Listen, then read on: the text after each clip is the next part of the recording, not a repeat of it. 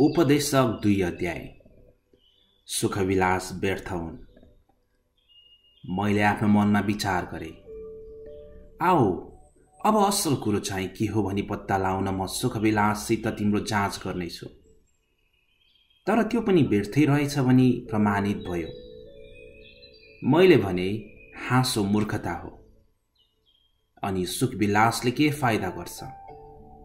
दागमध्ये पिएर तथा मूर्खतालाई अँगालेर मैले आफैलाई प्रफुल्ल तुल्याउन कोसिस गरेँ। मेरो मनले अझै मलाई बुद्धिद्वारा डोर्याउँदै थियो।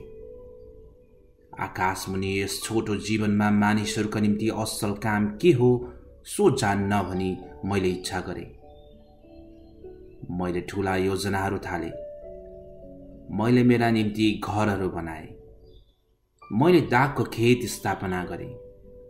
मैले बगैँचाहरू र उद्यानहरू बनाएँ र तिनमा सबै प्रकारका फलफुलका रुखहरू रोपेँ।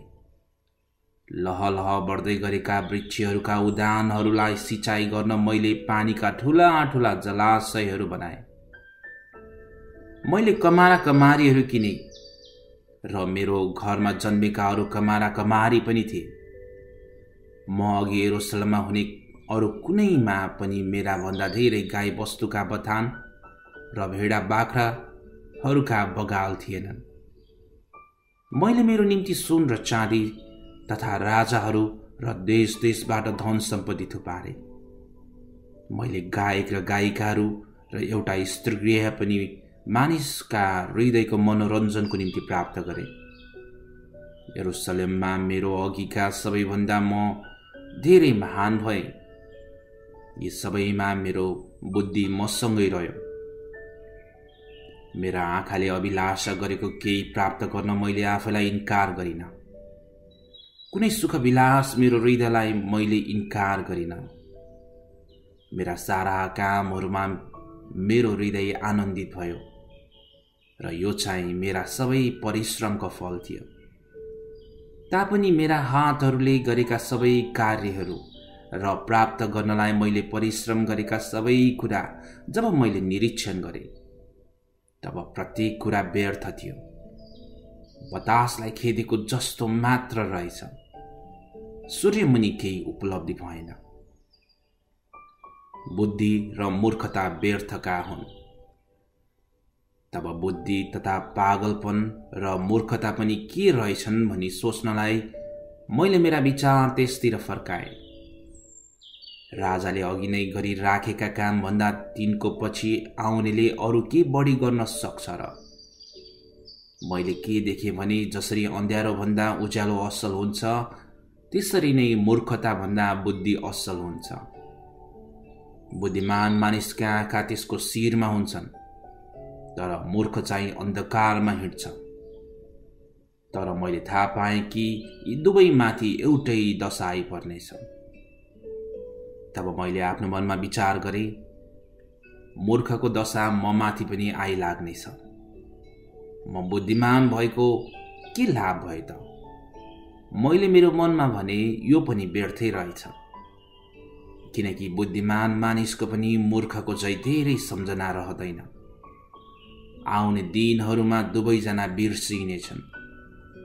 मूर्ख जस्तै बुद्धिमान मानिस पनि मर्नै पर्छ। परिश्रम पनि व्यर्थ हो। यसैले मैले मेरो जीवनलाई घृणा गरेँ किनभने सूर्यमुनि गरेको काम मेरो निम्ति दुःखदायी रहेछ। ती सबै व्यर्थ हुन्। बतासलाई खेदेको जस्तो मात्र। सूर्यमुनि सबै कुरा जसका निम्ति मैले परिश्रम गरेको छु ती सबै मैले घृणा गरेँ। किनभने मैले ती म पछि आउनेको निम्ति छोड्नै पर्छ। अनि कसले जान्दछ? त्यो बुद्धिमान हो कि मूर्ख? तापनि मैले सूर्यमुनि गरेका सबै कार्यहरू त्यसकै अधीनमा रहेछन् जसमा मैले मेरा सारा प्रयास र सिप लगाएको छु। यो पनि व्यर्थ हो।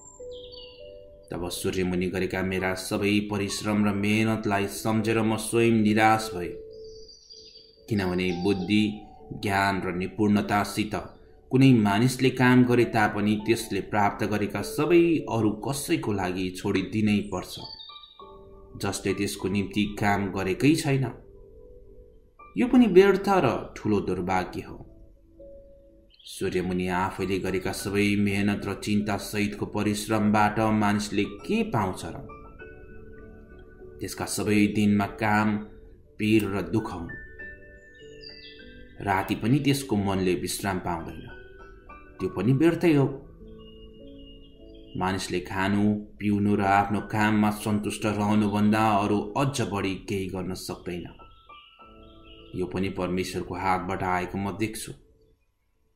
किनभने उहाँ बिना कसले खान वा सुख प्राप्त गर्न सक्छ र जुन मानिसले परमेश्वरलाई खुसी तुल्याउँछ त्यसैलाई उहाँले बुद्धि ज्ञान र आनन्द दिनुहुन्छ।